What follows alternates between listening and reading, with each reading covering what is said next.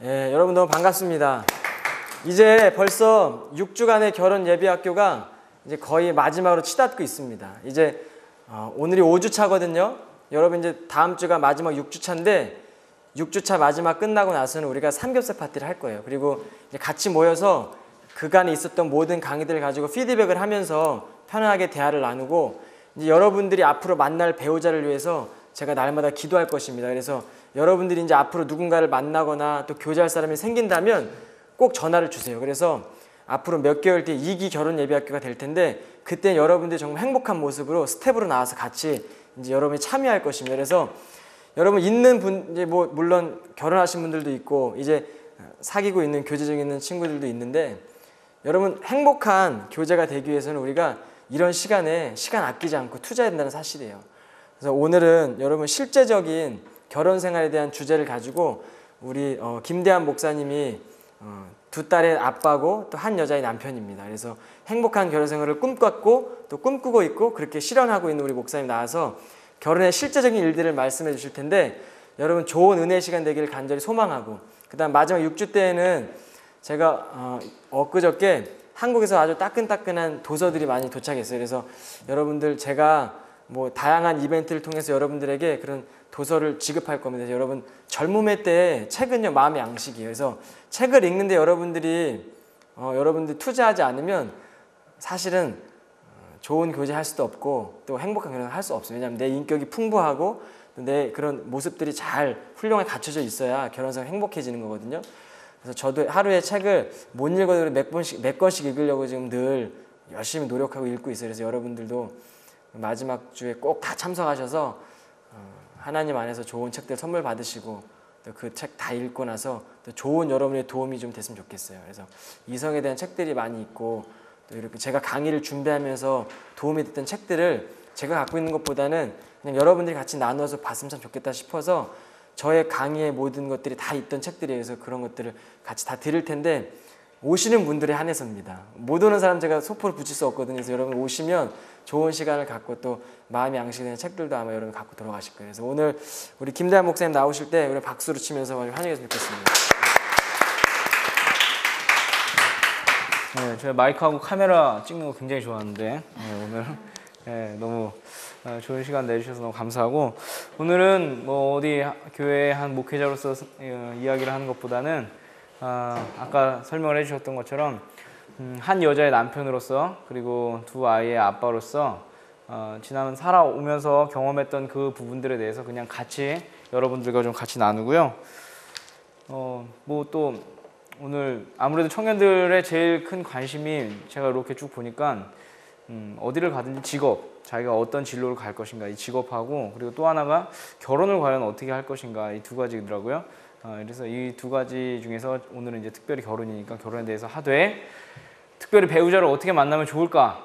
어, 떤 배우자가 하나님께서 원하시는 또 어, 나와 잘 맞는 배우자일까? 팁으로 이것까지 강의 마지막에 어, 좀 드리도록 하겠습니다.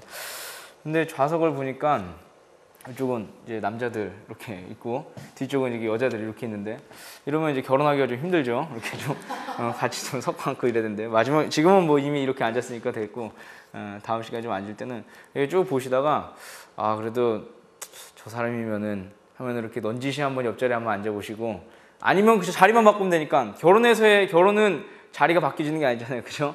어, 지금은 잠깐 이렇게 앉아봤다가 또 아니면 또 바꾸기도 하고, 네, 뭐 이런 시간들도 좀 가졌으면 좋겠습니다. 자, 어, 오늘 제목을 이렇게 했습니다. 결혼, 그 살벌하고도 아름다운 이야기 이렇게 했습니다. 살벌하다, 어, 마음이 좀 와닿으시나요? 살벌하다. 어, 저는 결혼 이렇게 다른 그 청년들이랑 제가 전에 이제 교회 있을 때도 이 내용을 갖고서 이제 같이 청년들과 같이 나눴었는데 어, 결혼에 대해서 이야기할 때 살벌하다, 굉장히 위험하다, 또 어, 얼음판을 걷는 것 같다, 뭐 이런 말들을 좀 많이 나눴습니다. 어, 사실은 굉장히 어렵죠. 얼음판을 위를 걷는 거 한번 여러분 한번 상상해 보세요. 조금만 잘못하면 넘어지죠, 그죠? 넘어지고 또 얇은 데를 잘못 걷다가 또 빠지기도 하고 어, 사실 그런 게 있는 것 같아요. 그러나 그렇다고 해도 우리가 아름다울 수 있는 그 이유는 뭘까?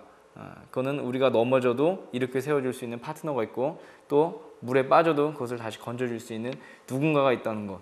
어, 그래서 이 결혼이 좀 아름답지 않나. 어, 저는 그렇게 생각을 해서 제목을 이렇게 한번 달아봤습니다. 어, 제목이 마음에 드나요? 네. 네. 우리 좀 부드럽게 할까요? 다들 이렇게 경직이 돼 있는데 혼나로운 것도 아닌데 네. 다들 소망을 하면서 내 안에 있는 그놈을 생각하시고 그다음에 여러분들 안에 있는 어 결혼하신 분도 계시죠? 한번 지금 조사를 해봐야 되는데 결혼하신 분 한 분 계시고 결혼을 하고 싶으신 분 네. 그럼 나머지는 결혼 안 하고 싶으신데 오신 거예요? 아직은 생각 없는 거예요 그러면? 어, 아직은 생각 없으신 분. 네 알겠습니다. 네 우리 어, 결혼 그래서 우리 가족에 대해서 잠깐 좀 소개를 좀 해보겠습니다. 우리 가족은요, 예, 이렇게 예, 네 명, 예, 두 명의 딸입니다. 둘 다 딸입니다. 아들 아닙니다. 둘 중에 한 명 꼭 아들이라고 얘기한 사람이 한 명 있는데 예, 둘 다 딸입니다. 어, 그리고 예, 제가 가장이고요. 제가 가장이고 그 다음에 가장의 저보다 이제 높은 쪽에 계신 분이 가장의 지휘관이 이제 저희 아내 예, 장은영 어, 씨고요. 그 다음에 어 아이고 어, 가장의 지휘관의 적들이 있습니다. 예, 김 아이고 어, 예, 가장의 지휘관의 적들 김루디, 김루아. 저희 가족은 이렇게 네 명이 이렇게 있습니다. 그래서 어, 저희가 2007년 3월 24일 날 결혼을 했어요. 2007년 3월 24일 날 결혼했는데 만난 거는 2006년 10월 3일 날 만났어요. 그러니까 한 어, 결혼까지 한 5개월 정도 걸린 것 같아요. 그래서 굉장히 좀 속성으로 이렇게 갔죠. 예, 무슨 문제가 있어서 그랬던 건 아니고요. 예, 저희 어머니가 어, 그렇게 이제 얘기를 해주셔서 빨리 결혼을 해라 이렇게 얘기를 하셔서 독촉을 하셔서 그렇게 결혼을 했습니다. 그래서 저희는 어, 결혼을 해서 아, 네. 저도 한 잔 주시겠습니까? 네, 감사합니다. 네, 편하게 누르세요. 편하게. 아, 저희 결혼하고 난 다음에 그래서 1년 한 처음에 한 4개월 부모님이랑 같이 살았던 것 같아요. 4개월 부모님이랑 같이 살고 그 다음에 부모님이 이제 강원도로 이제 이사를 가시면서 저랑 이제 아내만 제가 그때 대학원 마지막 학기였었기 때문에 저랑 아내만 이제 그 일산 쪽에다가 조그만 아주 조그만 그 원룸 하나를 이제 마련을 해주셔서 거기 들어가서 한 또 거기서 한 5개월 살았죠. 거기서 5개월 살고 어 그리고 1월 달에 제가 이제 인도네시아로 가게 됩니다. 그래서 인도네시아로 가면서 어 인도네시아에서 이제 저희가 이제 가족이 3년 동안 이제 살고 그리고 이제 금년에 이곳 토론토로 이사를 와서 이제 이사 온 지 한 달이 좀 안 됐습니다. 우리 가족들은 다 들어온 지 저는 이제 그 사이 몇번 왔다 갔다 했는데 어 그렇게 지냈던 우리 가족입니다. 그래서 어 좀 이사를 많이 다녔어요. 애들은 벌써 3개국을 다닌 거죠, 벌써. 애들은 3개국을 다니고 우리 큰딸 같은 경우에는 벌써 비행기를 7번인가 8번을 탔어요. 그래서 걔는 대한항 걔는 또 대한항공만 태워줬거든요. 비싼 것만 태워줬는데 어, 걔는 대한항공 타면 딱 앉아가지고 그 앞에 그 LCD 다 있으니까 지가 알아서 봅니다, 이렇게. 이번에도 올 때도 지가 알아서 뽀로로 딱 보고 헤드폰 헤드폰이 너무 커서 안 들어가서 제그 이어폰 줬더니 그 이어폰 딱 귀에 꽂더니 자기가 알아서 다 보다가 자고 싶으면 자고 물 마시고 싶으면 얘기해 저한테 얘기하면 제가 불러주면 또 이제 물도 마시고 음, 굉장히 걔는 편하게 이렇게 여기까지 13시간 반 동안 아주 지가 하고 싶은 거 다 하다 이렇게 왔어요 몇 번 잘해서 일어나지도 않고 그러고 왔습니다 예. 아, 저희가 그래서 이렇게 이리저리 돌아다녔던 그런 가족이고 여기서도 아, 우리가 이제 과연 또 하나님께서 어떻게 또 이끄실지 잘 모르겠지만 어, 어쨌든 여기서 오면서 아이들이 참 좋아하고 아내도 좋아하고 그래서 우리 가족들이 좀 평안하게 오랜만에 좀 잘 살아본다 이런 생각을 좀 같이 해봤어요.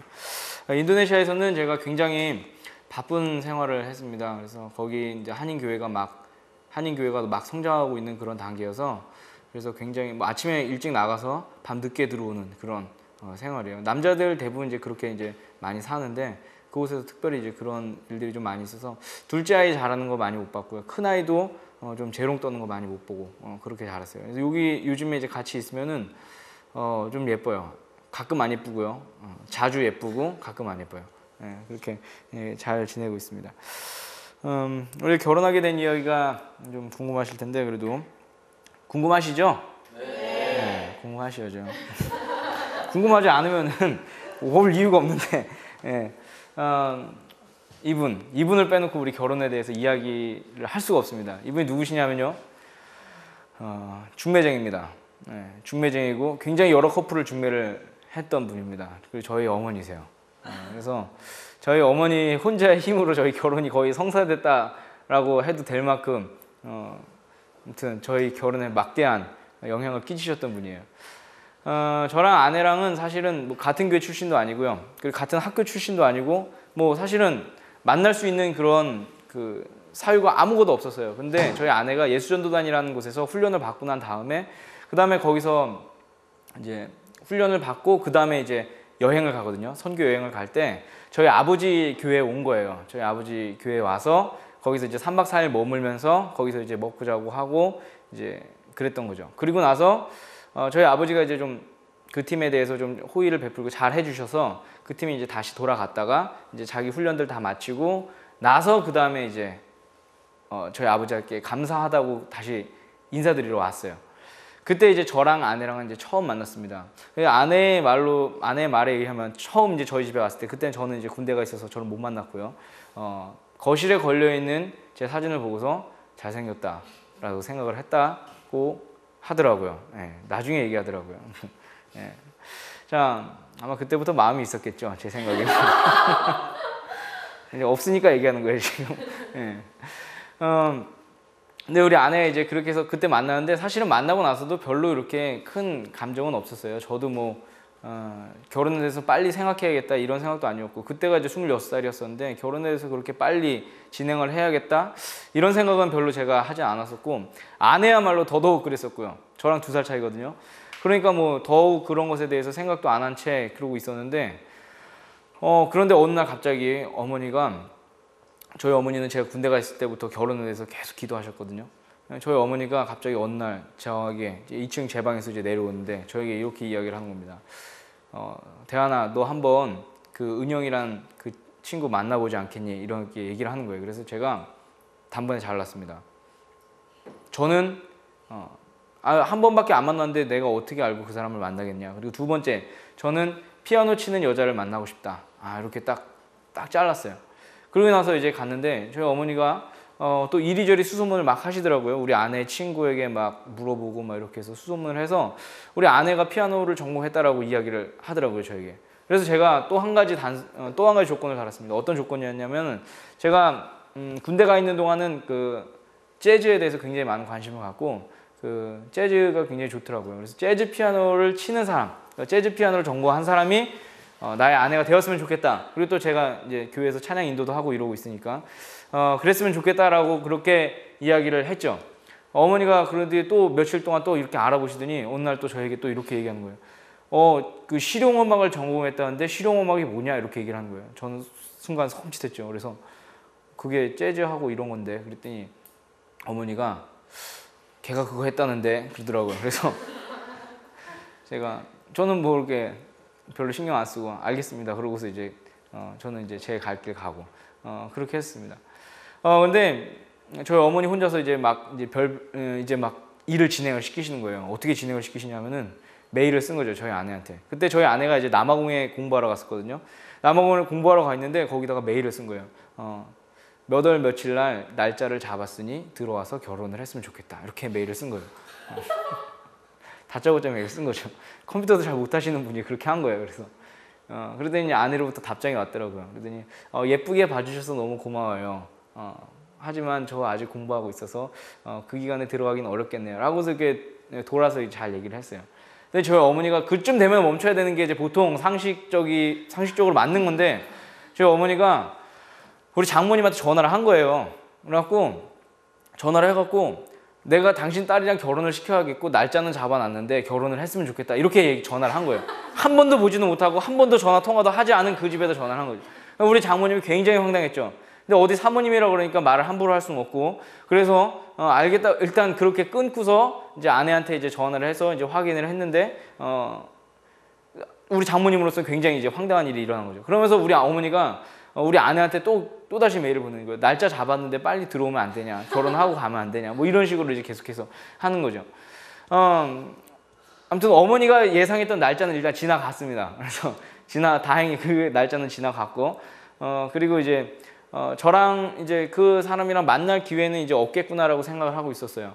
어, 그러던 중에 어느 날 갑자기 어머니한테 전화가 왔어요. 제가 기숙사에서 살 때였었는데, 전화가 오더니, 어, 우리 아내가 일찍 들어왔다는 거예요. 공부를 원래 1년을 하고 올 계획이었었는데 1년을 다 하지 못하고 일찍 들어왔다는 거예요. 어, 그리고 나서 어, 무슨 연주회가 있는데 그 연주회 마치면 한번 만나보는 게 어떻겠냐. 그래서 저도 어쨌든 그래 어머니가 그렇게 얘기하고 그러니까 그래서 일단 한번 만나보자. 그래서 10월 3일 날 2007년 10월 3일 날 아, 2006년 10월 3일 날 처음 만났습니다. 2006년 10월 3일 날 만나서 이제 한참 막 얘기를 했어요. 근데 얘기를 했는데 제가 어, 몇 가지 이게 이상형들이 있는데 음식 짜는 여자 굉장히 중요하거든요. 왜냐면 우리 어머니 음식이 테러블해, 테러블 완전히 먹으면 거의 뭐. 그래서 저는 첫 번째 단 저희 아버지의 소원이기도 해요. 음식 잘하는 부인, 음식 잘하는 부인. 그래서 저는 한 만났을 때 이걸 먼저 떠오르죠. 어, 음식 잘하세요. 그렇게 물어봤어요. 이렇게 돌려서 돌려서 이렇게 잘 물어봤어요. 그랬더니 자기가 남아공에서 김장을 했다는 거예요. 그 나이에. 오 젊은 나이 요즘에 김장하는 여자들 많지 않은데 어, 음식 잘하나 보다 그 생각했죠. 그리고 또 일단 훈련을 많이 받았으니까 어, 신앙도 괜찮겠구나. 저 혼자는 그 생각했어요. 그러더니 어, 자기 말로는 뭐 남아공 가서 자기는 시집갈 모든 훈련을 다 하고 왔다고 저한테 그렇게 얘기를 하고 난 다음에는 또 이렇게 얘기하는 거예요. 저는 그냥 오늘 이 만남이 그냥 일상 중에 한 순간이라고 그냥 이렇게 얘기하고 하는 거예요. 나한테. 응. 그리고 나는 뭐야? 그냥 일상 중에 한 순간에 한 남자야?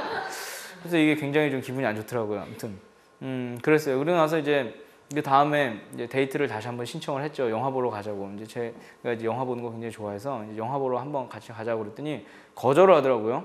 어, 거절당한 적 한 번도 없었는데 거절을 당해갖고 굉장히 좀 기분이 안 좋죠. 어, 그러다가 이제 그래도 이제 제가 그냥 전화를 계속 했어요. 전화를 이제 어, 그래도 좀 좀 더 알아봐야겠다라고 생각을 하고서 전화를 했어요.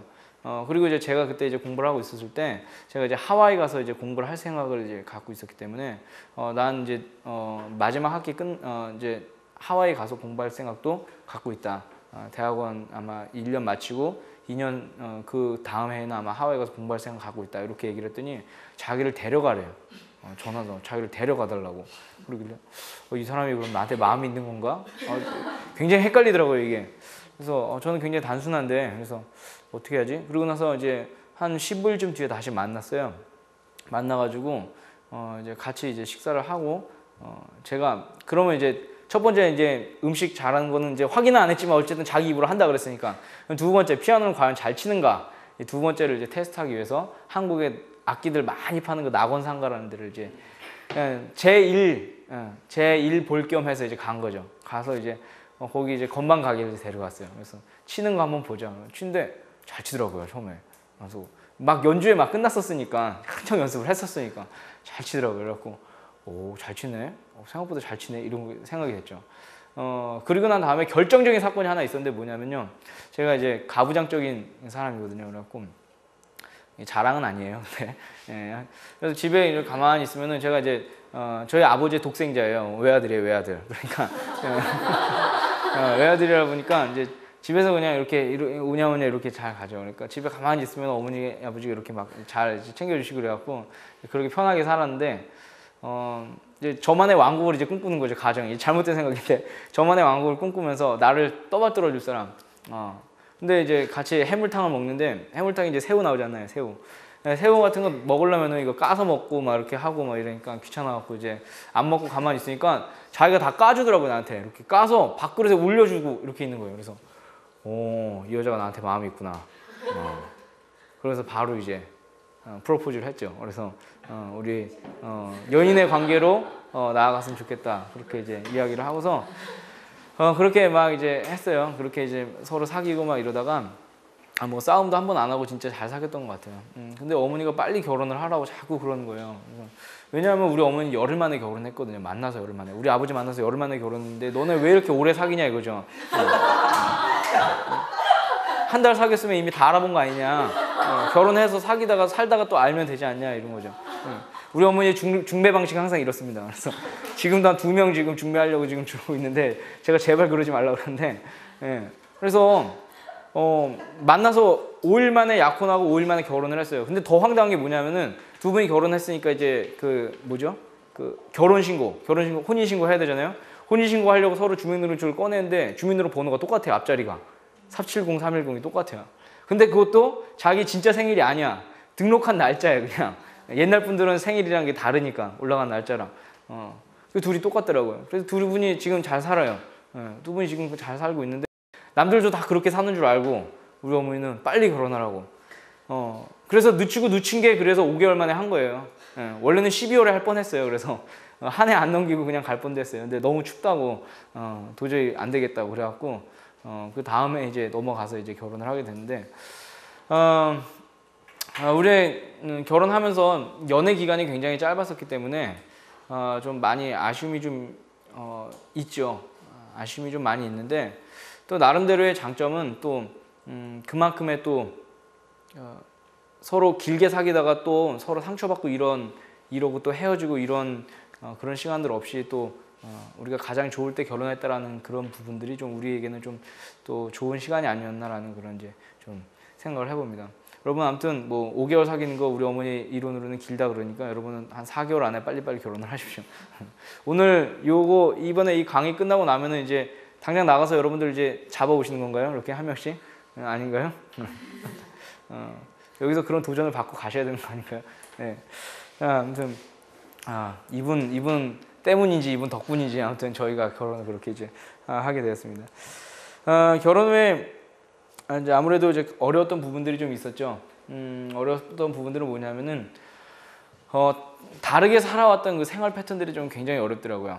음, 저 같은 경우는 일찍 자고 일찍 일어나요. 그러니까 한 공부할 때는지 아무래도 좀 늦게 자겠지만은 어, 그냥 일상에서는 웬만하면 10시 잘 안 넘기려고 그래요. 10시 잘 안 넘기고 10시를 안 넘겨야지 키가 크대요. 어, 키가 큰데요. 그래갖고 10시를 웬만하면 잘 안 넘기려고 그래요. 어, 그래서 10시 안 넘기고 그때 자서 어, 아침에 한 어, 5시, 6시 그 사이 이제 일어납니다. 그리고 그때 일어나지 또 이제 학교를 갈 수가 있으니까 이제 그렇게 이제 보통 어, 이제 생활을 했었는데 어, 우리 아내는 그 이상의 아티스트들은 꼭 이렇게 늦게 잠을 자더라고요. 뮤- 그래갖고 어, 밤에 영감이 떠오르는 게 좀 있나 봐요. 이렇게. 그래서 어, 그래서 연애할 때는 그래도 괜찮았어요. 연애할 때는 아, 이 사람이 밤늦게까지 내 목소리를 듣고 싶은가 보다. 어, 이러잖아요. 이렇게 해서 뭐 전화해갖고 재워달라고. 어, 나는 이미 자고 있는데 나는 이미 졸면서 전화하고 있는데 재워달라고. 그러면은 어, 그러면 빨리 자야지 이러고 있는데 안 자고 그리고 또 한 시간. 어, 그래서 무료 통화 다 날라가고 벌써 어, 500분 무료 통화했었는데 그거 남아갖고 계속 누적됐었는데 어, 그거 다 날라가고 뭐 아무튼 어, 이랬어요. 그래도 이제 연애할 땐 좋아요. 그런데 결혼을 하고 나니까 나는 자야 되는데 잠을 안 자는 거예요 옆에서. 그리고 저는 혼자 자랐다 그랬잖아요. 혼자 자라고 침대로 혼자 썼어요. 옆에 누가 있으면 잠을 못 자요. 사실은 잘. 우리 아버지랑 어머니랑 가끔 이제 뭐, 밑, 어, 뭐 밑에 보일러가 안 되든지 그러면은 제 방 올라와서 이제 주무시거나 뭐 이럴 때 있는데 그러면은 아버지가 만약에 침대에서 주무시잖아요. 그럼 전 밑에서 자요. 옆에 누가 있으면 잠을 못 자요. 가뜩이나 그렇게 예민한 상황에서 이 사람이 또 잠을 안 자고 뒤척뒤척거리고 난 자고 있는데 쿡 찔러요. 자? 이러고 자지 그러면 밤인데 어, 어, 그런 것들이 처음에 좀 어렸었고요. 두 번째는 이제 저는 이제 제가 원하는 위치에 딱 있어야 돼요. 그러니까 책상 같은 게 만약 이렇게 딱 있잖아요. 이거 놔 있는 거 보시죠. 저기 조 테이블. 조 테이블은 제가 맨 끝선에다가 딱 붙여놨어요. 그 종이를. 예. 왜 그랬게요? 반듯해야 돼요. 항상 저는 이렇게 뭐든지 옷걸이는 같은 방향으로 걸려 있어야 돼요. 항상. 그리고 옷의 크기는 옷의 작은 크기부터 큰 크기까지 서랍장에 쫙 일렬로 정리돼 있어야 되고 넥타이는 항상 말려서 이렇게 그 함에 딱 마련해서 그렇게 딱 넣어요. 저는 한 그게 이게 딱 있는 거예요. 그 휴지도 딱 어느 위치에 딱 정확하게 있어야 되고. 어 그런데 어 결혼을 하고 나니까 이 사람은 그냥 옷걸이가 막 방향이 막 이리저리. 그리고 처음 이제 처음 우리 집 와서 이제 옷을 걸어 옷을 걸잖아요. 이제 자기 옷들 이제 이제 처갓집에서 갖고 와서 이제 거는데 막 옷을 제가 제발 옷 좀 같은 방향 걸어달라 그래도 처음에 좀 하다가 한 다섯 벌 걸고 나면 또 바뀌어지고 그러면 제가 그거를 다 바꿔야 돼 다시 다 바꿔서 처음에 그래요 사는 거예요 그리고 옷장도 마찬가지고 나 혼자 써서 내가 반듯하게 써놨던 그 옷장을 다시 그 아내가 오고 난 다음부터 그게 다 흐트러지고 막 이런 거예요. 그러면 내가 너무 스트레스 받았어요. 또 하나가 뭐였냐면은 어 저는 이제 머리를 이제 짧게 많이 하고 다니니까 이렇게 머리카락이 떨어져도 이렇게 크게 이제 보이지가 않은데 어, 여자분들 머리카락 굉장히 많이 보이더라고요. 이렇게 어, 도대체 머리가 하루에 얼마씩 떨어지시는지 어, 그런데도 이렇게 남아 있는 거 보면 참 그게 난 그게 참 신기해요. 머리가 굉장히 많이 떨어지더라고요. 그래서 그거를 일일이 다 이제 청소기로 다 밀고 다니는 거예요. 계속 그러다가 이제 화장실 가면 이제 난리 나는 거죠. 머리 감고 나잖아요. 그러면은 그 수채구멍 옆에 이렇게 있는 거. 어 그런 것들이 너무 이제 처음에 이제 힘들었어요. 예. 제가 이제 결혼하면은 다 나처럼 사는 줄 알았거든요. 모든 사람들이. 근데 그게 아니라는 것을 이제 어, 깨닫게 된 거죠. 어, 아, 그리고 연애할 때와 이제 다른 마음가짐들이 있죠. 음, 연애할 때는 이제 어, 이런 게 있잖아요. 연애, 연애할 때는 늦게 오면요 한 5분 늦고 10분 늦으면 이래요. 아 이 사람이 나에게 예쁘게 보이기 위해서 어, 화장하고 예쁘게 오나 보다. 어, 이렇게 생각을 했어요.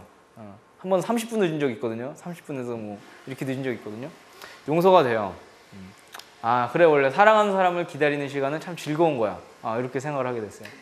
그러다가 결혼을 하고 나죠. 5분이 늦으면요 아, 막 이렇게 막 올라오는 거예요. 빨리 가야 된대. 막 이게 올라오는 거예요. 어, 막 그런 것들도 이제 좀 많이 달라지고요. 그리고 결혼하기 전에는요 화장 다 한 얼굴 보잖아요. 어, 뒤에 한번 돌아보실래요? 지금 화장하고 계시잖아요, 그죠? 예. 결혼하기 전에 화장 다 해요. 근데 결혼하고 나서는 어, 제 생각엔 이랬어요. 아침에 여자가 먼저 일어나서 화장을 다 씻고 화장을 하고 난 다음에 나를 깨우는 줄 알았어요. 난 처음엔. 어, 드라마에 그렇게 나오니까. 그리고 드라마에서는 여자들이 다 화장하고 자고 아침에 일어나니까 어, 그런 줄 알았어요, 진짜로. 어, 근데 아니더라고요. 눈곱도 있고 여자도 어, 여자도 눈곱이 있다는 사실도 저에겐 좀 충격이었고 어, 여자도 이렇게 좀 음, 그런 거다라는 게 어, 좀 아무튼 저에게 그런 것들이 좀 많이 부딪히는 그런 부분들이었어요. 어, 그래서 아 이게 참 결혼이랑 좀 많이 다르구나 연애랑 결혼이란 게 진짜 많이 다르구나라는 게 어, 많이 느껴지더라고요. 어, 그 다음에 이제 또 하나 이제 어려웠던 부분이 어, 생각 차이죠, 생각 차이. 어, 남자는 어, 결혼이라는 목적을 목표를 가지면요 결혼을 향해서 달려가요. 그래서 그때까지는 아내를 가야죠. 뭐 이번 이번 주인가요? 빼빼로데이가 있죠. 뭐 상술이 장난 아니던데 천년에 한 번 오는 빼빼로데이라고 어, 2011년 11월 11일이라고 예, 빼빼로데이라고 그런 게 있어요. 아, 여기 잘 모르. 저기 그 갤러리아 가면은 지금 파시, 팔더라고요. 아무튼 근데 이제 결혼하기 전에는 뭐 발렌타인건 뭐 화이트데이건 뭐 그런 거 한국에 있는 그 데이데이들 많잖아요. 뭐 데이데이들 매달 하나씩 있는 그 day day들. 그 데이데이들에 대해서 선물 사주는 것에 대해서 하나도 안 아깝고 그거 뭐 당연히 하는 거지. 그리고 외국 나갔다 오면은 선물 사오고 이런 것들에 대해서 당연하게 이제 생각을 해요. 왜냐하면 결혼하기 전이니까 결혼을 해야 되니까 목표를 두고 있기 때문에 남자가. 어, 저도 남자니까 거기서 크게 벗어나지 않죠.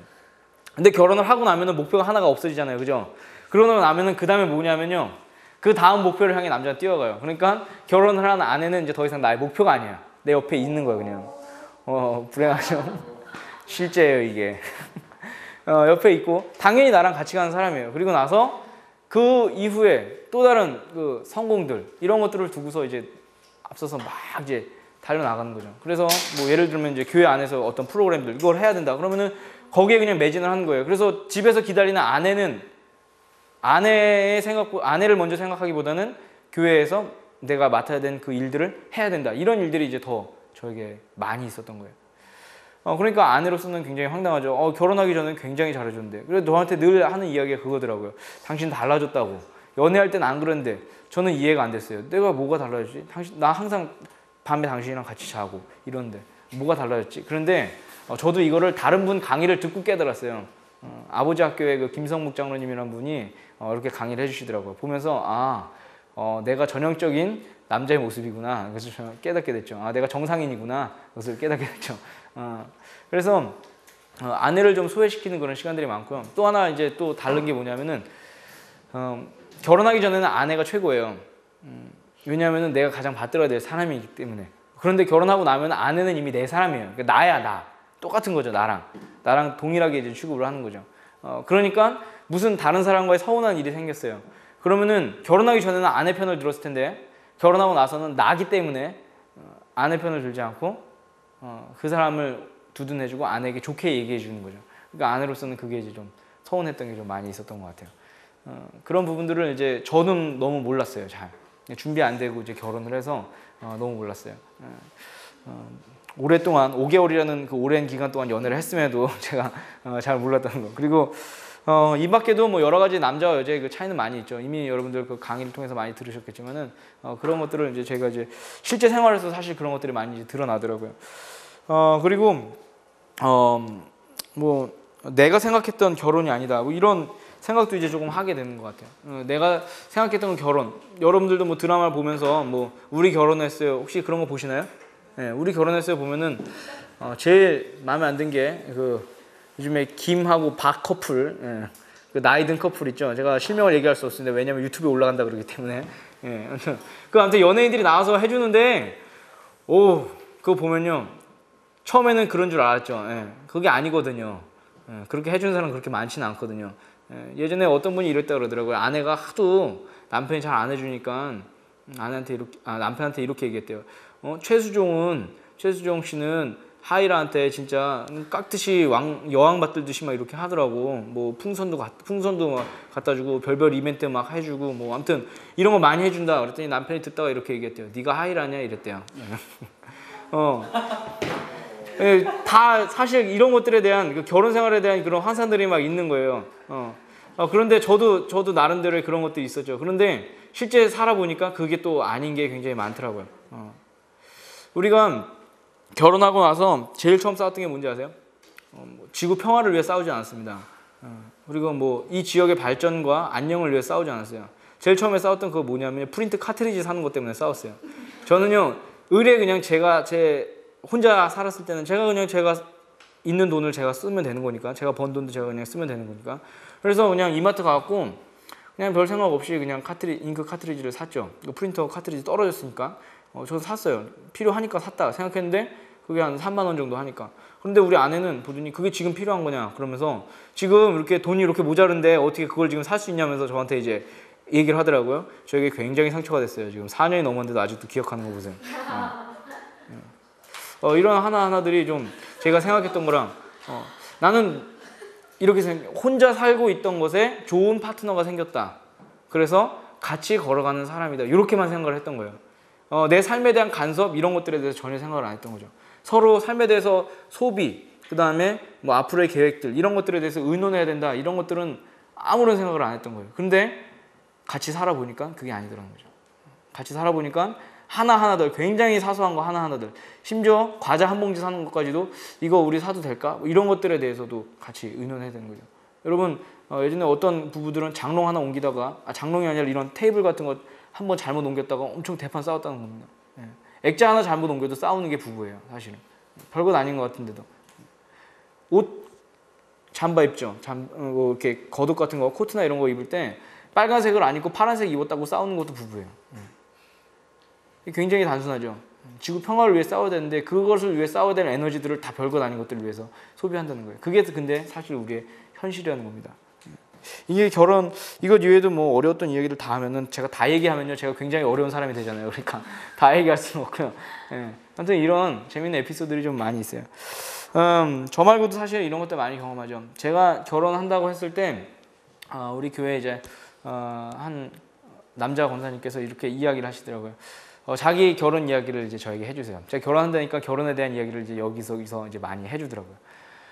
근데 음, 그분은 이제 굉장히 성공한 케이스죠. 뭐 한의, 한의사고요. 한의사고 그리고 뭐 부인도 어, 피아노 선생님이신데 굉장히 이제 좀 음, 벌이도 괜찮으신 분들이었어요. 그러니까 뭐 어, 사시는데 뭐 전혀 문제 없는 그런 분들이고 우리 교회 안에서도 굉장히 아름답게 교회를 잘 섬기고 계셨던 그런 분들이었어요. 그래서 저는 어, 그분들이 참 교회 안에서 참 본보기가 되는 그런 부부다라고 그렇게 생각을 했는데 어, 그 남자 권사님이 저에게 이렇게 이야기를 하더라고요. 나는 결혼해서 5년 동안 이혼 서류를 가방에 넣고 다녔다 이렇게 얘기하더라고요. 그것도 자기는 사인 다 해서. 그러니까 아내만 사인하면 그딱 끝나는 그런 상황이에요. 음.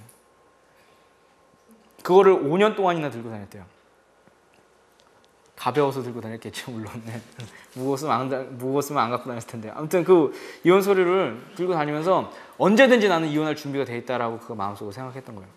그런데 그분이 생각했던 그 이상형을 제가 예전에 한번 들었었거든요. 그 이야기를 하기 전에 어, 자기가 어, 아내가 피아노를 연- 반주했으면 좋겠고 그리고 자기는 성가대에서 지휘했으면 좋겠다. 이게 두 가지였어요. 그러니까 그런 사람이었으면 좋겠다. 근데 딱 그분이 그분이에요. 교회 반주하고 어, 그랬거든요.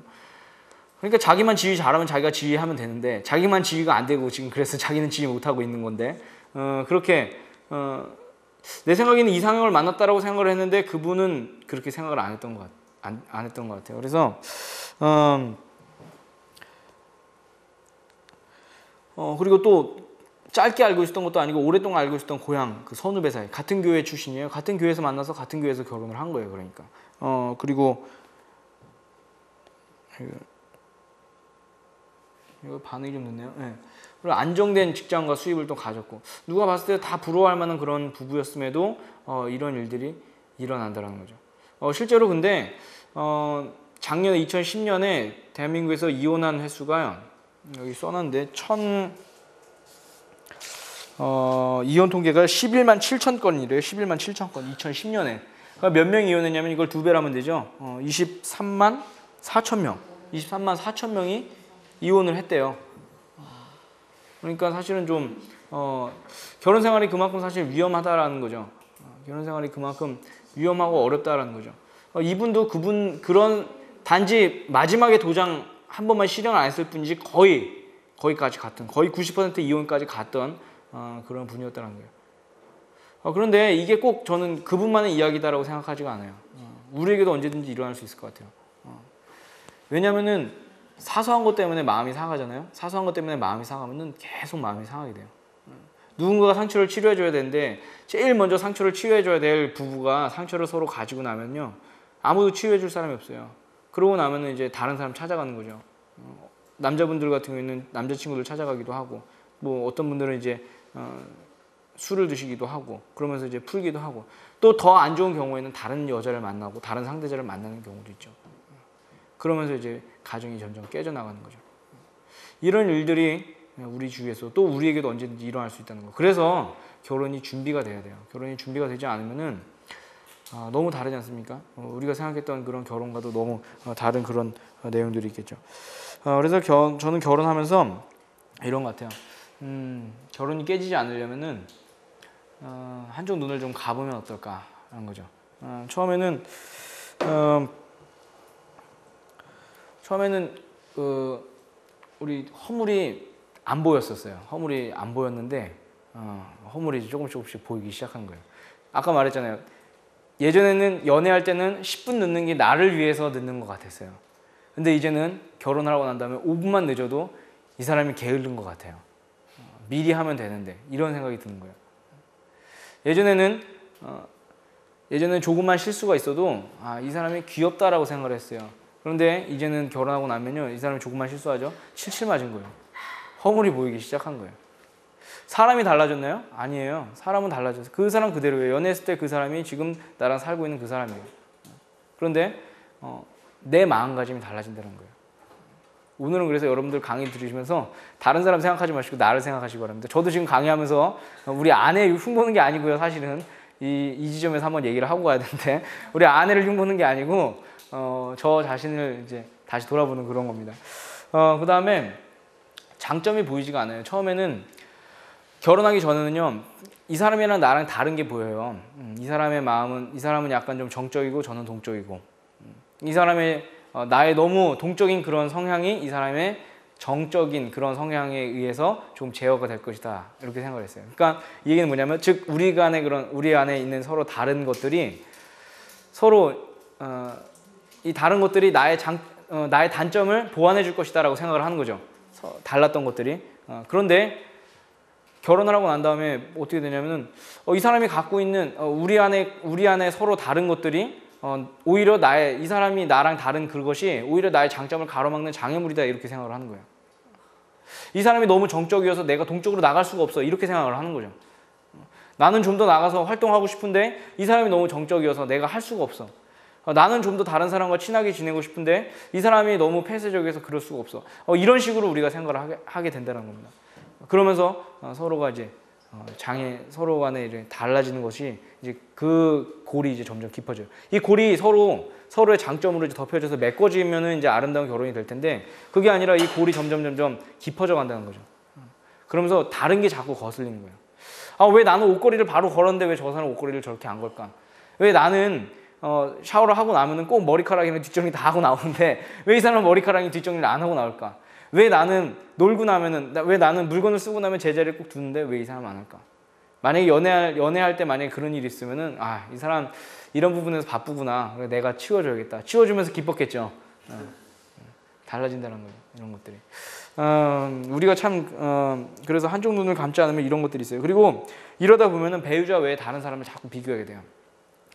어, 예를 들어서 우리 아내가 만약에 이제 옷걸이를 어, 뭐 정리를 잘 안 해요. 정리를 잘 안 한다. 만약에 그렇게 다 치면은 어, 정리 잘하는 여자를 만나죠. 그러면은 그 사람이 괜히 좋아 보여요. 이렇게 아, 이성으로서 좋아 보인다 그런 것들이 아니라 이 사람이 이 여자가 굉장히 훌륭해 보이는 거예요. 만약에 이 사람이 정적이어가지고 어, 뭔가 내가 생활하는데 조금 불편함이 있다. 그런데 동적인 여자를 만나죠. 어, 이 사람이 굉장히 나이스해 보여요. 굉장히 이 사람이 어, 그 예를 들어서 뭐 직장인들 커리어우먼 같은 경우에도 굉장히 멋있어 보이는 거죠. 그런 것들이 이제 어, 우리가 배우자가 아닌 다른 사람에게 눈을 돌리는 그런 일들이 이제 있다 보니까 그게 이제 점점 깊어지다 보면은 문제가 이제 생기게 되죠. 그 다음에 또 하나 뭐냐면은 어, 그러다 보면은 내가 병이 들어요. 내가 자꾸 나를 자책하게 돼요. 어, 우리 사촌 누님이 있는데 사촌 누님이 이제 결혼하시고 나서 처음에 굉장히 어려웠대요. 음, 여기 이제 신앙이 안 맞아서 어려웠었어요. 신앙이 이제 매형이 이제 신앙이 없고 우리 사촌 누님은 이제 신앙이 있는데 처음에는 그래서 그게 굉장히 어려웠던 거예요. 남편을 품어야 되는데 남편의 다름이 자꾸 보이는 거죠. 그러니까 점차 이제 우리 누나가 계속 이제 멀어지는 거죠. 어, 멀어지다 보니까 결국 누가 병이 드냐면은 내가 나한테 하늘 내가 나, 나를 탓하게 돼요. 왜 내가 저 남자를 택했을까? 이것을 하는 거죠. 왜 내가 저 남자를 택했을까? 아, 내가 바보 같아 보이는 거예요. 그러다 보니까 어, 나에 대해서 자꾸 질책하게 돼요. 그러다 보니까 내 안에 내 영혼이 자꾸 병이 들어가는 거죠. 어, 그래서 어, 그 부분을 빨리 떨쳐 그 부분을 떨쳐내는데 굉장히 오랜 시간이 걸렸고 굉장히 힘들었다 그런 얘기를 이번에 어, 제가 한국 갔을 때 좀 이제 들었습니다.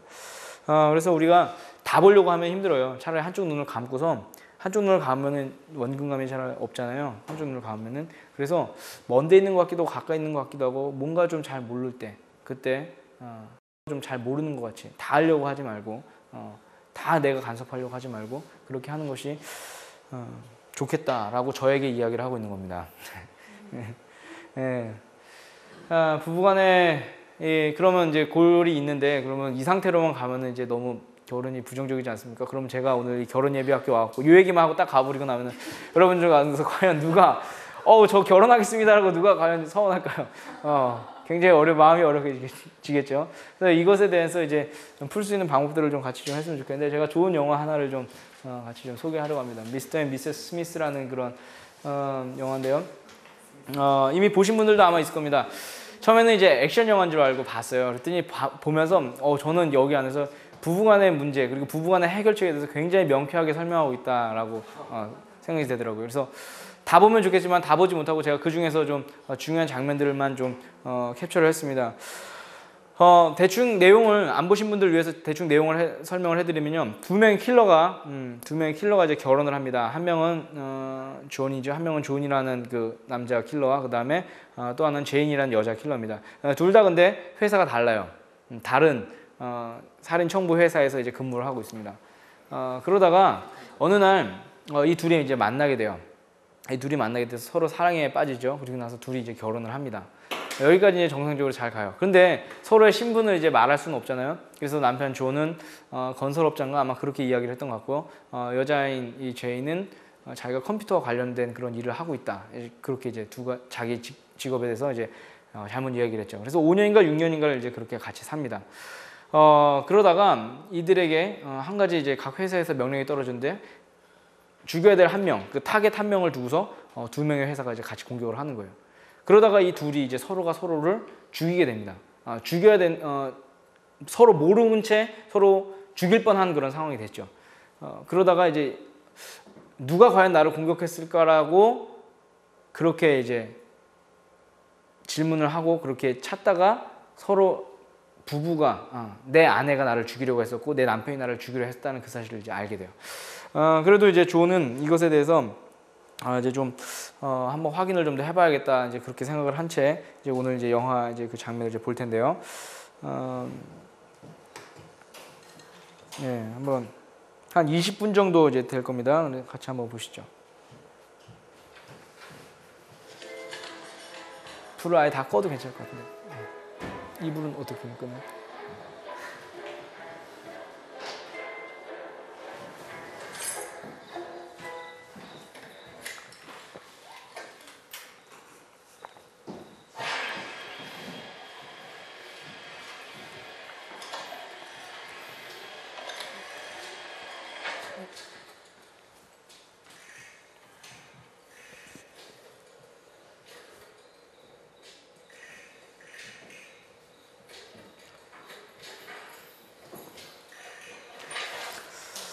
네.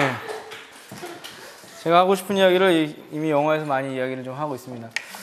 네, 몇 가지 좀 영화를 보면서 처음에는 액션인 줄 알고 봤는데 아 보니까 부부 생활에 대해서 굉장히 깊이 있게 설명하고 있다라는 것을 좀 이제 깨닫게 됐어요. 어, 마지막 싸우는 장면이 어딘지 아시겠죠? 우리 치면은 그 월마트 같은 그런 마트입니다. 쇼핑 장소라는 거죠. 왜 그곳을 마지막 씬으로 정했을까? 한번 이- 그 부분이 좀 궁금해서 곰곰이 생각을 해봤는데 남자랑 여자랑 가장 많은 싸움의 장소가 혹시 이곳이 아닐까라는 그런 생각도 했어요. 그래서 많은 그런 그 검은색으로 나오고 있는 그 사람들이 사실은 영화 그 감독이 표현하기로서는 결혼에 위협을 주는 어떤 요소들 아마 이렇게 생각이 됐을 거예요. 누군가 한 명의 그 인격체의 그 사람이 아니라 우리의 결혼을 끊임없이 위협하는 한 요소들. 그러니까 저렇게 그, 그 총싸움이나 이런 부분들에서도 이제 그렇게 그냥 유쾌하게 이제 표현을 해낸 거겠죠.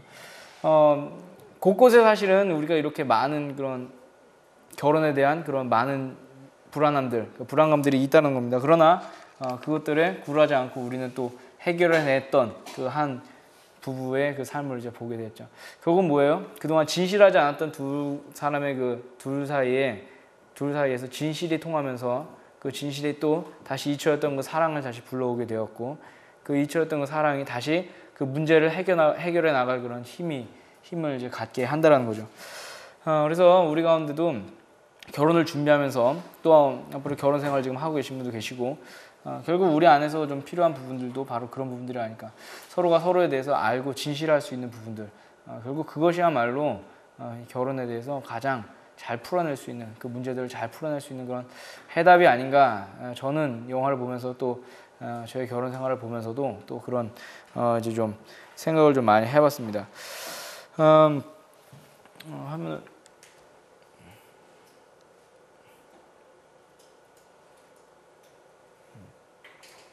네, 결국 음, 풀려고 하면요 문제는 풀려요 사실은. 이 두 사람도 풀지 못해서 아까 그 하수도 거기서 서로 잠깐 별거 하자 이런 식의 사실은 내용이거든요. 별거 하자. 어, 어, 문제를 쉽게 해결하는 방법이 그 방법밖에 없는 줄 알죠. 같이 있어서는 도저히 안 되고 위험할 수밖에 없다라고 그렇게 생각을 하죠. 그런데 같이 있으면 해결이 된다는 거예요 같이 있으면 해결할 수 있고 같이 있으면 위험해도 그 일들을 헤쳐나갈 수 있다는 영화가 표현해주는 아주 중요한 메시지 중에 하나가 그거 아닌가 생각합니다 자, 그래서 퍼즐을 맞추듯이 음, 퍼즐을 맞추듯이 아, 우리가 우리 인생을 또 아, 우리 결혼 생활을 좀 해봐야겠죠. 여러분, 어, 결혼을 하면요 이상형이랑 결혼할까요? 아니면은 이상형이 아닌 사람과 결혼할까요? 아닌 사람. 예, 모릅니다 사실은 누구랑 결혼할지 몰라요. 어, 여러분 이상형 다 있으시죠? 우리 앞에 형제님 이상형 있죠? 한 제일 중요한 한 가지만 한번 대볼래요? 아 여기 빨간 옷 입으시고 결혼하셨으니까 이상형 얘기하시면 안 되죠 이제. 예. 예. 종교 부분들. 어. 어. 그리고 또 하나.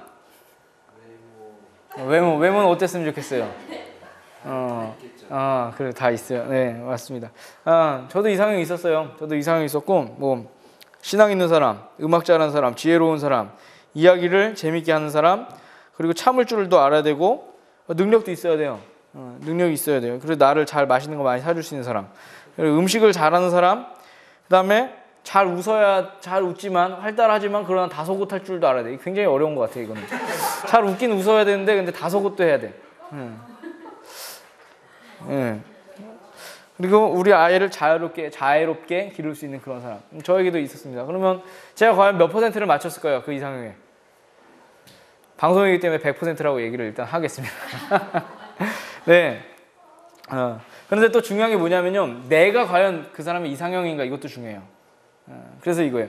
서로의 이상형이 돼야 된다는 거예요. 결혼하기 전에 이 사람도 바라는 모습이 있었을 거예요. 우리 아내 입장에서 어느 중 어느 날 한번 생각해 봤어요. 이 사람 과연 내가 이 사람이 과연 이상형이었을까? 이렇게 생각을 해 봤어요. 아까 제가 이제 이 강의를 우리 아내 몰래 준비했거든요. 어제 밤늦게. 왜냐면 우리 아내가 보면은 이럴 것 같아요. 당신이나 잘하세요. 이럴 것 같아서 몰래 준비했어요. 몰래 준비하다가 오늘 이제 들켰습니다. 낮에. 들켰는데 쓰다 보니까 이제 우리의 차이에 대해서 막 쓰다 보니까 아내가 보기, 어, 이거 나의 단점에 대해서 썼다 이거예요. 자기, 자기 그 싫다 이거죠. 당신도 당신 단점 쓰라고. 내 단점이 뭐야? 그랬더니, 어, 결혼하기 전에는, 결혼하기 전에는 뭐야 아 잘난 척 많이 한다 이거죠. 잘난 척 많이 한다고 결혼 결혼하고 난 다음에 잘난 척 많이 한다고. 결혼하기 전에는 당당한 줄 알았는데 그게 결혼하고 나니까 그게 잘난 척이더라고. 이게 자기도 이제 바뀌었다는 거예요. 음. 저는 어느 날 한번 그렇게 생각해요.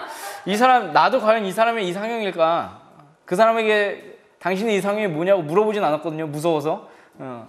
내가 아닐까 봐 무서워서 물어보진 않았는데 나도 그 사람의 이상형은 아닐 것 같아요. 내가 지금 보니까 100% 맞을 것 같지는 않아요. 그런데 뭐냐면요. 서로 사랑하면요. 서로 이상형이 되기 위해서 노력을 해야죠. 그 사람도 나를 위해서 노력을 해야죠. 나도 그 사람을 위해서 노력을 해야 되는 게 맞습니다. 그래서 이상형이랑 결혼하는 것보다요. 더 좋은 게 뭐냐면요. 서로 이상형이 될 수 있는 사람과 결혼하는 게 더 좋아요. 지금 100이라고 하는 나의 이상형 중에서 50밖에 안 되지만은 그 나머지 50을 채우기 위해서 평생 동안 노력을 할 수 있는 사람 언제 채울지는 몰라요. 근데 그 50을 채우기 위해서 평생 동안 노력을 할 수 있는 그 사람 그 사람을 만나는 게 더 행복하지 않을까 저는 그렇게 생각을 합니다. 그리고 저희의 삶, 우리의 삶도 사실은 그렇게 맞춰 가야 되는 게 맞다라고 생각이 돼요. 그 다음에 서로를 도울 수 있는 그런 돕는 관계. 성경에서는 이렇게 나옵니다. 하나님께서 그 아담에게 아내를 주셨을 때 돕는 배필을 주셨다라고 그렇게 얘기했어요. 돕는 배필. 이 사람을 통해서 뭔가 얻을 수 있는 그런 배필이 아니라 서로 도울 수 있는 배필. 내가 이 사람을 도와야 되는 배필이고요. 내가 이 사람을 도와야 되는 사람이고 이 사람도 나를 도우는 그런 사람이어야 된다는 거죠. 어, 그 다음에 진정한 책임과 그 의지는 동, 어, 사랑에는 진정한 책임과 의지가 동반한다는 거. 어, 그래서 고린도전서 13장 나중에 이제 끝날 때 한번 보시겠는데 그 14장을 보면요 감정에 대해서 나오잖아요. 근데 많은 사람들이 사랑을 감정이라고 생각해요. 두근두근 되는 거. 어, 사실은 이거는 아주 아주 일부의 그런 거죠. 사실 두근두근 되는 거는 금방 끝나요. 두근두근 되는 건. 아무리 얼굴 얼굴 이쁜 여자랑 결혼을 해도 3개월이면 다 똑같아진다 그러더라고요. 50세가 넘어지면 학력이 똑같아지고 어, 그 다음에 40세가 넘어가면 얼굴이 평준화된다 그러네요. 50세가 넘어 학력이 똑같아지고 예, 뭐 그런가요? 저는 잘 모르겠는데 아무튼 어, 책임과 의지가 오히려 더 우리 가운데 필요하다. 사랑을 지키기 위해서는 그것이 더 필요하다라는 거죠.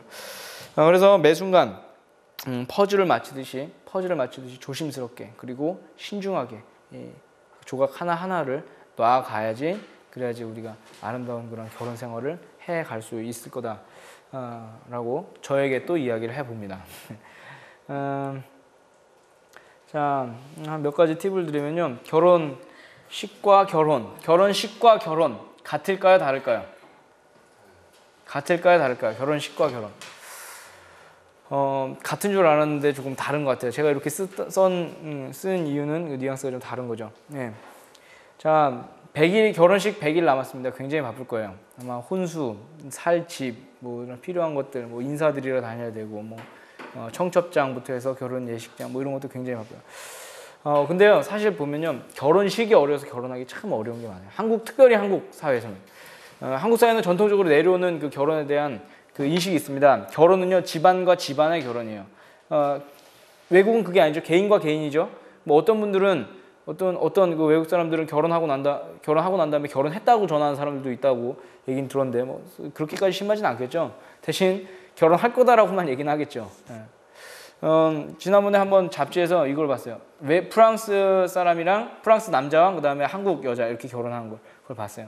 근데 프랑스 사람은 이 한국 여성과 결혼한 거에서 전혀 문제가 없어요. 자기가 그냥 전화 한 통 하면 된대요. 엄마한테 전화해갖고 나 이 여자랑 결혼할 거예요라고 하면 결혼되는 거래요. 그냥. 만약에 거기서 어머니가 반대를 했다. 그러면은 이제 굉장히 심각한 거죠. 자기 인생을 막았다는 거죠. 그리고 또 한 가지 심각한 게 뭐냐면은 외국인이랑 결혼한 걸 반대했다. 특별히 아시아인이랑 아시아인이랑 결혼한 걸 반대했기 때문에 엄마를 어, 뭐라 그러더라? 아, 그 인종차별주의자로 신고를 할 수 있다. 뭐 이렇게까지 얘기를 하더라고요. 잡지에 그렇게 나왔어요. 실제로 그렇게. 어, 그런데 이 여자, 이 한국인 여성에게는 어떨까요? 한국 여성이 굉장히 큰 문제가 남아있어요. 첫 번째 외국인이랑 결혼하는 것 자체가 문제고요. 두 번째는 어, 결혼 자체가 어, 자기가 좋다고 결혼할 수 있는 게 아니잖아요. 그죠? 한국 사회에서는 어, 부모님 동의 하에 결혼을 하게 되죠. 왜냐면요 예전부터 그게 내려오는 그 어, 역사적인 그런 배경이 있습니다. 예전에 집안과 집안이 결혼해야 되는 그 이유 중에 하나가요. 만약에 그 한 집안에서 역적이 나왔어요. 쉽게 말하면 반란자죠. 반란자. 반란자가 나오거나 아니면 국가의 큰 죄인이 나오면요. 삼족을 죽이는데 어떻게 죽이냐. 삼족이 할아버지, 아버지, 나 이렇게 세 삼대를 죽이는 것이 아니라 삼족이 뭐냐면요. 친족, 그러니까 우리 쪽. 그 다음에 처가 쪽. 그 다음에 외족 이렇게 줍니다. 어머니 쪽, 어머니 쪽, 아내 쪽, 그 다음에 우리 집 이렇게 세. 그러니까 결혼을 잘못했어요. 근데 남편이 만약에 반란자야, 아니면 또 아내의 집안이 또 어 그 반란자의 집안이에요. 그러면은 다 죽는 거예요. 그러니까 결혼에 대해서 신중하게 생각을 할 수밖에 없죠. 그래서 한국의 문화는 천상 이래요. 근데 요즘에 좀 많이 왜곡된 게 뭐냐면은 결혼식에 대해서 너무 많은 투자를 해요. 저도 그런 걸 많이 느껴요. 뭐 혼수 뭐 어떻게 한다. 혼수 남자는요 평균 지금 제가 2010년도 조사를 보니까 2010년도 조사에 남자 평균 그 결혼을 위해서 얼마를 준비해야 되냐 8천만 원을 준비해야 된대요. 여자는 3천만 원이에요. 8만 불 그 다음에 3만 불을 준비를 해야 된다는 거예요.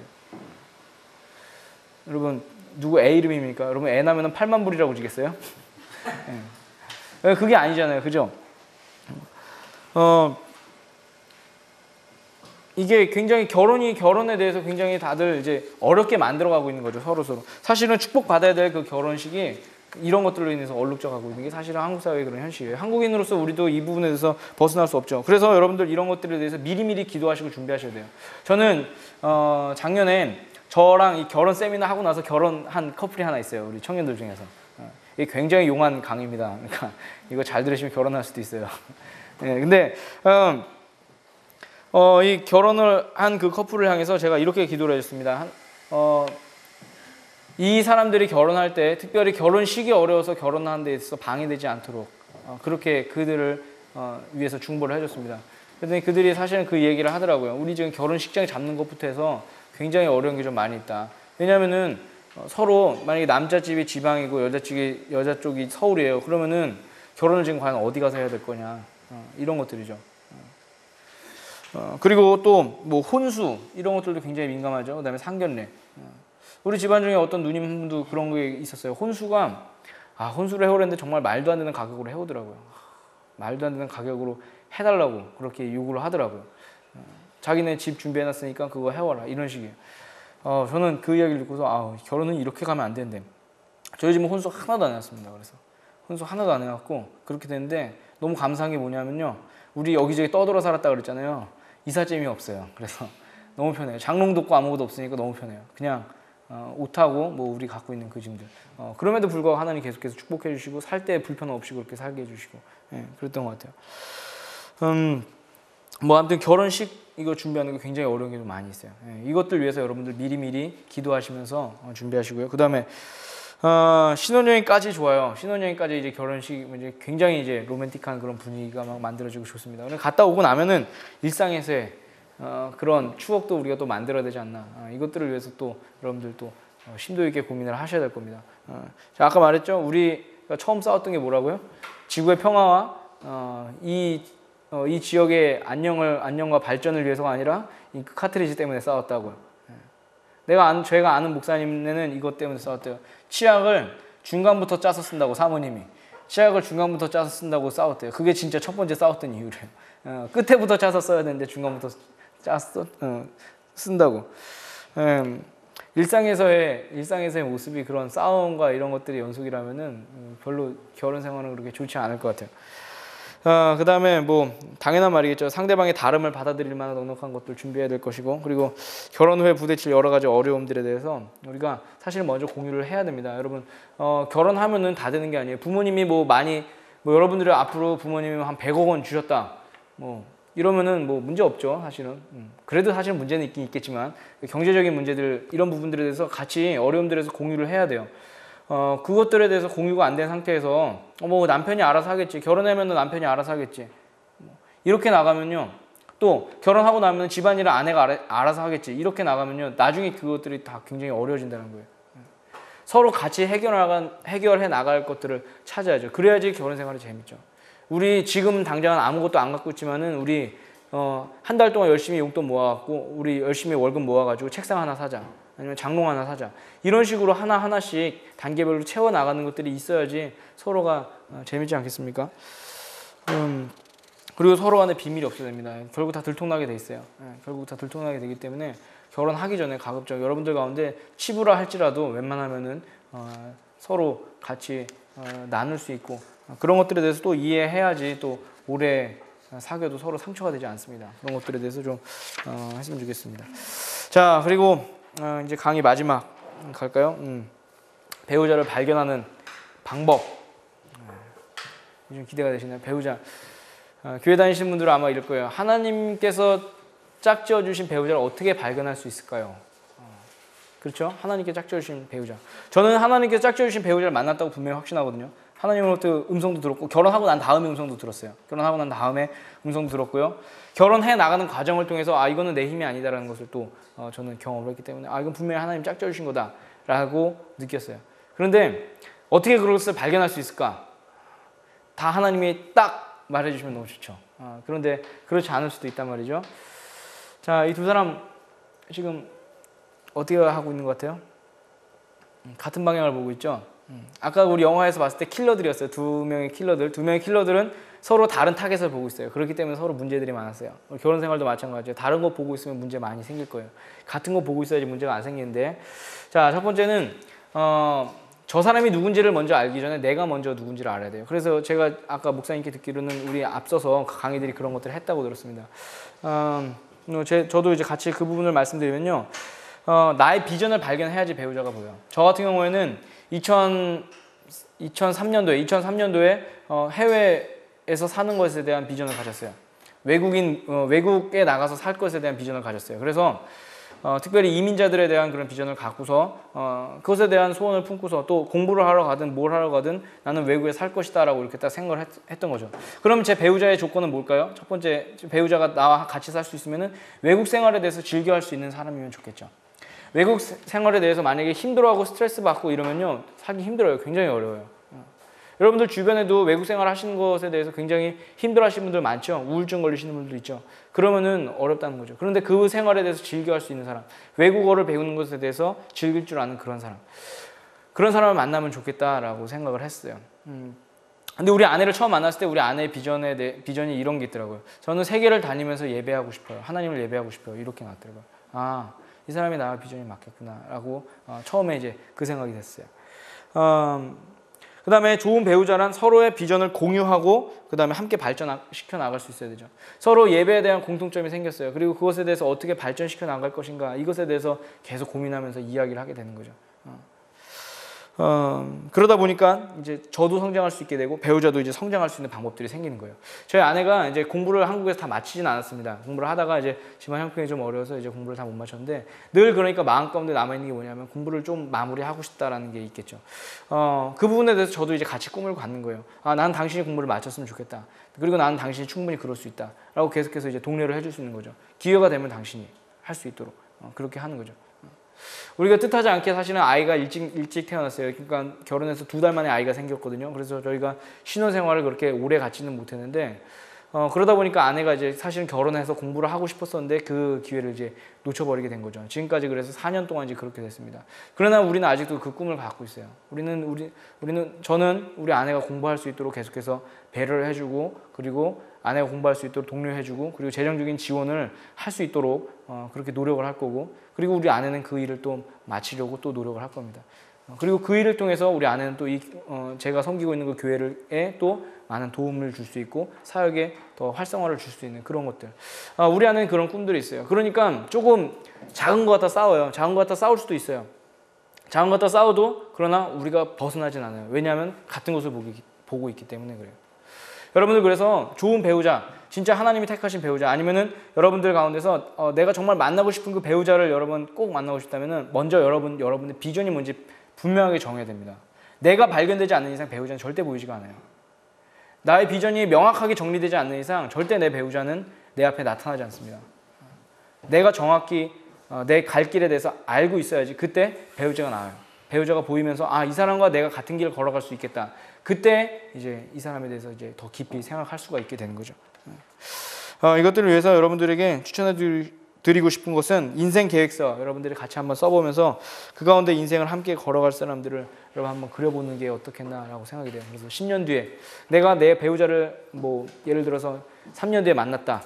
3년 뒤에 배우자를 만나서 5년 뒤에는 과연 어떻게 할 것인가? 그리고 10, 10년 뒤에는 과연 어떤 모습일까? 20년 뒤에는 어떤 모습일까? 이런 것들에 대해서 여러분들이 같이 고민을 해보시기 바랍니다. 같은 분야를 만나라는 건 아닙니다. 그러나 어, 같이 서로의 꿈에 대해서 인정하고 서로 발전시켜 줄 수 있는 그런 사람을 여러분 어, 만나라는 겁니다.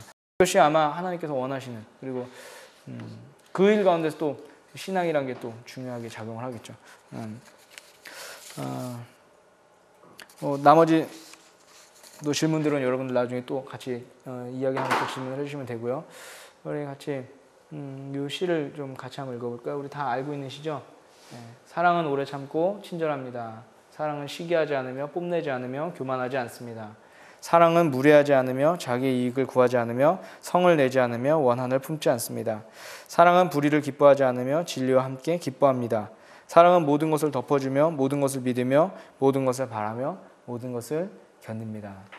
음, 이 중에 우리 감정에 대해서 나온 거 아무것도 없습니다. 우리가 해야 할 일에 대해서 어, 나와 있습니다. 여러분 어, 사랑을 여러분이 해야 할 일로 받아들이시고 결혼 가운데서 여러분 배우자를 만났을 때 여러분이 마땅히 사랑을 해야 한다라고 여러분 생각하고 결혼 생활을 하시면은 어, 좋은 것 같아요.